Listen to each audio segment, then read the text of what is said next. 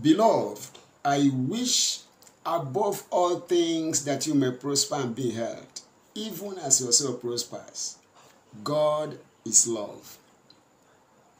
And because God is love, always, his love nature, his love personality compels him to wish us the best.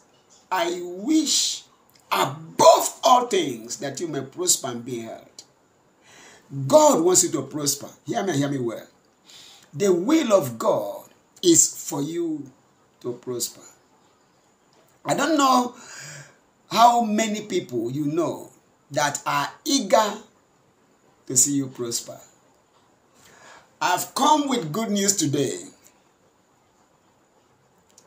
The will of God is for you to prosper and be healthy.